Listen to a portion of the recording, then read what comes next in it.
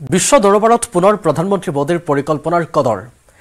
ডাভছত অনুষ্ঠিত দুহেজাৰ চৌব্বিছৰ world economic ফৰামত ভাৰতৰ উদ্যোগত প্ৰতিষ্ঠা বিশ্ব বৰ্ণ বৈষম্য ৰোহিত সমতা। সম অধিকাৰ ইংৰাজীত alliance for global good gender equity and equality শীৰ্ষক এটা গোট গঠন কৰা হৈছে। আৰু উল্লেখ কৰিম যে টি টুৱেণ্টি সন্মিলনত প্ৰধানমন্ত্ৰী নৰেন্দ্ৰ মোদীয়ে প্ৰথমবাৰলৈ আগবঢ়াইছিল এই প্ৰস্তাৱ। মূলতঃ নাৰী সবলীকৰণ নাৰীৰ সন্মান তথা প্ৰতিগৰাকী নাৰীৰ সম অধিকাৰক লক্ষ্য হিচাপে লৈ বিশ্বজুৰি সজাগতা সৃষ্টি কৰা।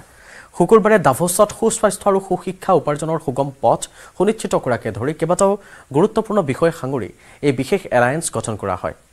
এই গোটত ৱৰ্ল্ড ইকনমিক ফৰাম তথা ভাৰতৰ তৰফৰ পৰা প্ৰতিষ্ঠানিক সংগী হিচাপে কাৰ্যনিৰ্বাহ কৰিব ইনভেষ্ট ইণ্ডিয়াই এই গোটলৈ সমৰ্থন আগবঢ়াইছে মাষ্টাৰ কাৰ্ড উবাৰ ইণ্ডিয়া চেৰাম ইণ্ডিয়াকে ধৰি চি আই আইৰ জৰিয়তে দহ হাজাৰতকৈও অধিক প্ৰতিষ্ঠানে।